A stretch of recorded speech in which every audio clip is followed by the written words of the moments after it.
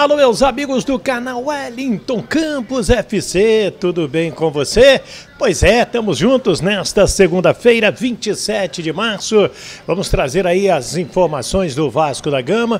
Vamos repercutir um pouquinho mais algumas falas do Maurício Barbieri, essa parada aí de preparação, tabela do campeonato que vai chegar, enfim, algumas informações importantes que nós temos para você e trazer também dois estreantes da seleção brasileira que lá estiveram e sentiram o gostinho de vestir a amarelinha principal do Brasil, como também foi o Andrei, que já está de volta ao Vasco da Gama. Tudo isso a gente vai conversar, vai trazer agora para você, mas antes aquele pedido, né? Se você ainda não se inscreveu no nosso canal, por favor, se inscreva. Você ajuda muito no nosso trabalho. Esse vermelhinho aí, o Wellington Campos FC, é só você clicar esse vermelhinho, não paga rigorosamente nada e peço também para você dar o joinha dar o like e habilitar o sininho na palavra todas para receber todas as nossas notificações. E aí, todo vídeo que a gente colocar por aqui,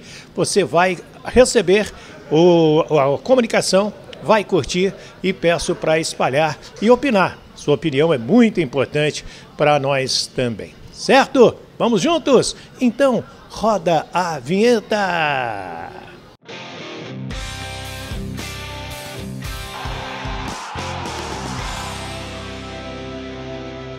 Alô, meus amigos do canal, pois é, vamos falar então da doutora Camila Paz, grande cirurgiã dentista especializada em harmonização orofacial. É o seu sorriso muito mais bonito.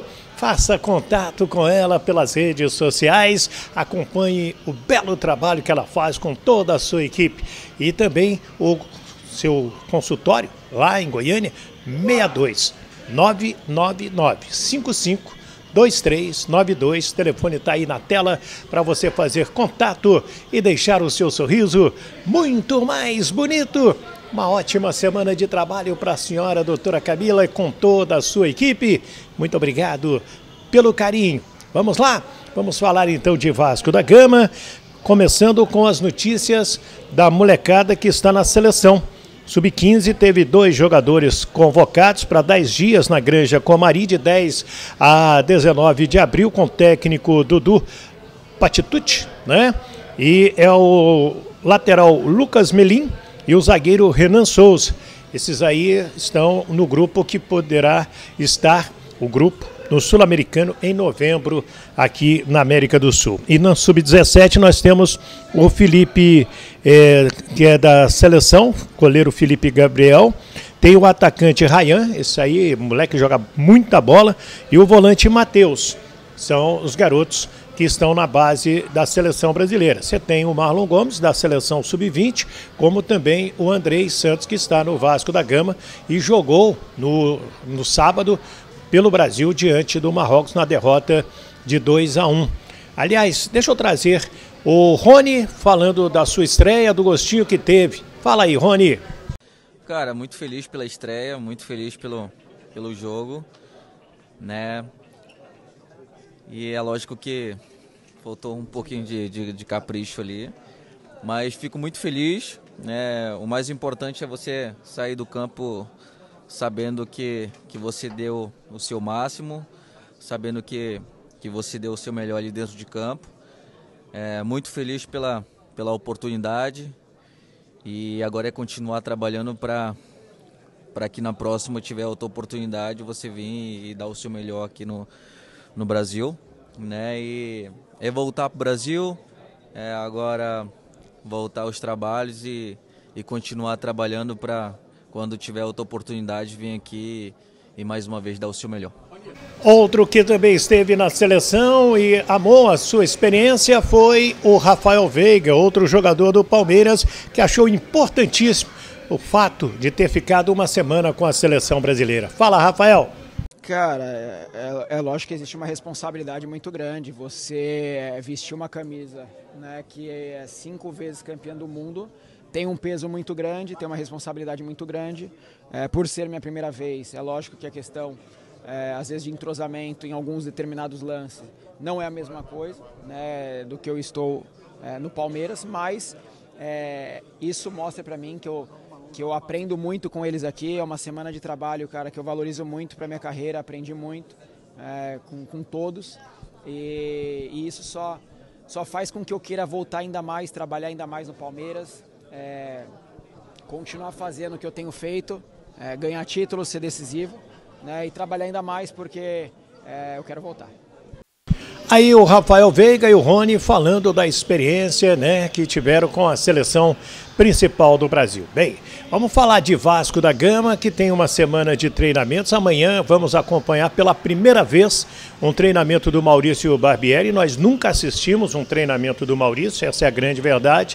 Não vai ter nenhuma entrevista, mas a imprensa poderá assistir o treino da tarde no CT Moacir Barbosa. E deixa eu trazer aqui o Maurício Barbieri falando sobre a evolução. Ele viu a evolução do seu time desde o início do trabalho, da excursão para os Estados Unidos, ficou uma equipe alternativa por aqui e ele viu, mesmo com tantas dificuldades, evolução na sua equipe. Maurício. Eu acho que a gente fez bastante coisa, muito mais coisas positivas do que negativas. A gente teve uma viagem para os Estados Unidos. A gente acabou deixando um, um grupo alternativo aqui para fazer dois jogos. Muitos desses jogadores nem estão mais no clube. Uh, a gente teve que fazer dois clássicos, não podendo contar com muitos jogadores. Não sei se vocês se lembram, por aquele problema da inscrição, de o jogo era da, da fase tal, foi para outra fase. Então foram dois clássicos nessa situação. E com tudo isso, eu acho que a gente sempre deu uma resposta muito positiva, conseguiu classificar, conseguiu fazer uh, bons jogos contra o Flamengo, mas que sem dúvida nenhuma foram insuficientes para a gente vencer. Isso a gente tem claro. Então, nesse recorte maior, eu acho que a gente avançou em muitas coisas, tem muita coisa positiva, mas a gente não esconde, tem ciência de que ainda precisa melhorar. E aí, terminando respondendo a sua pergunta, esse tempo que nós temos agora vai ser focado nisso, em fazer um Vasco melhor, um Vasco crescer, se desenvolver e chegar ainda mais pronto no brasileiro. É, realmente o Vasco teve essa evolução, a gente viu a evolução na equipe vascaína. Hoje você pode dizer que o Vasco tem um time. O torcedor hoje consegue escalar o time vascaíno. E como que vai ser este Vasco no Campeonato Brasileiro? Que, que o, o técnico do Vasco, Maurício Barbieri, espera da sua equipe? Essa pergunta foi feita para ele na última entrevista coletiva. O próprio Abel respondeu essa pergunta que eu fiz. O Abel espera um time muito bom, bem encorpado, jogando de igual para igual e fazendo um campeonato para ficar na primeira página, entre os dez primeiros. O que, que o Maurício espera? O Vasco não joga o campeonato sozinho. Então depende do que o Vasco vai fazer, mas também do que ele vai enfrentar, né? E eu, neste momento, os clubes da Série A que eu conheço bem são esses que a gente enfrentou no Campeonato Carioca. Então, é, se eu tirar esse recorte, eu volto a repetir, eu acho que a gente tem condição de ser bastante competitivo. Mas existe um recorte muito maior, tem as outras equipes, os outros estados, outras é, situações. Então eu não consigo ser assertivo. Eu acho que num primeiro momento a gente tem o desafio de eliminar essa estatística que eu te disse, que é uma estatística que não é do Vasco, é uma estatística do campeonato. E depois, a partir disso, quanto mais a gente conseguir ser competitivo, se impor aos adversários, conseguir de repente fazer o fator casa ser preponderante, é, aí a gente tem mais chances de buscar e almejar coisas maiores. Nós temos também um time com muita meninada Será que faltam jogadores experientes para este grupo do técnico Maurício Barbieri para o campeonato brasileiro? Será que ele tem esse sentimento? Ou, Maurício, você consegue apontar aí os atletas experientes que você tem?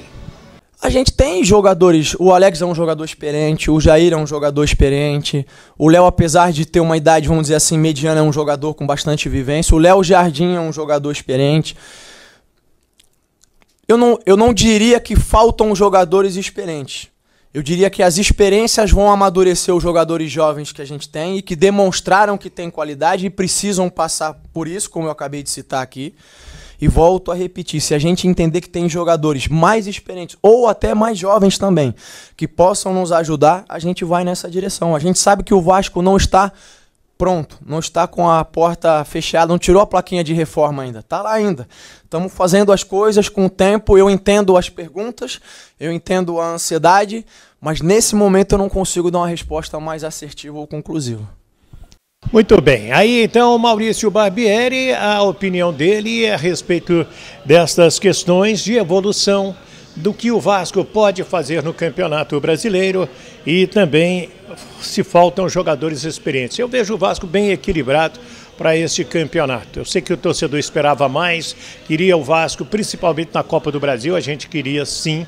O Vasco essa semana deve ter a tabela já da Série A com o sorteio de hoje da Libertadores e da Copa Sul-Americana sai amanhã essas duas tabelas e a CBF vai poder desenvolver a tabela desta competição, uma Série A, para que o Vasco possa então se planejar. Tem o Atlético que está na Libertadores na primeira rodada, tem a equipe do Palmeiras na segunda rodada também na Libertadores, na terceira é o Bahia, na quarta rodada é o Fluminense, outro que está na Libertadores. O Vasco só terá o Campeonato Brasileiro pela frente. Então, se ele souber estar equilibrado, souber jogar, ele pode fazer um campeonato bastante interessante. O que, é que você acha? Vamos ter a despedida do Nenê, um jogo festivo para ele, que deve ser dentro do Campeonato Brasileiro, está sendo tratado. A gente deve ter mais alguma informação esta semana. Nenê que tem contrato até 30 de abril e tem três jogos para jogar pelo Vasco, então.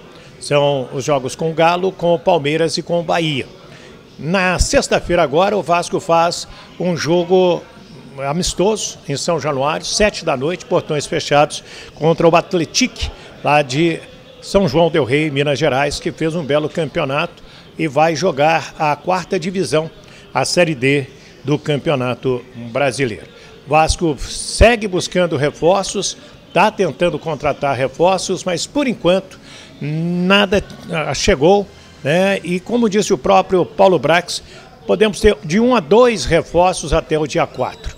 E a gente fica aguardando a CBF dizer se vai prorrogar até 20 de abril a janela de transferência.